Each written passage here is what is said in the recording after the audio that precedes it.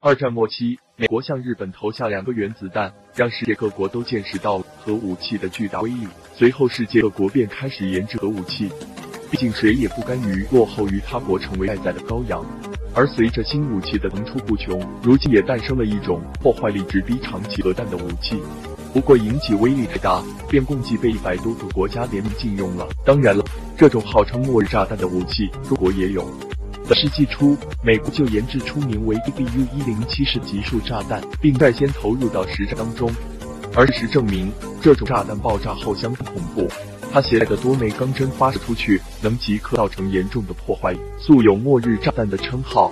其能够在战机上投放，爆炸后有不计其数的钢针高速落下，瞬间给对方极为可怕的痛击，威力堪比美国当年日本投下的两颗原子弹。在二零零三年，美军对伊军的一个步兵团就使用了集束炸弹。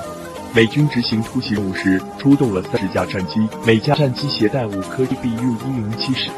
当战机经过伊军阵地上空时，美军立即投下全部的 DBU-107 式。随着震耳欲聋的爆炸声响起，七十多万枚钢针从天而降，犹如下了一场钢针雨。一万名伊军在短短两小时内瞬间毙命。由于集束炸弹强悍的破坏力，使得伊军上下顿时痛苦不堪，阵阵哀嚎。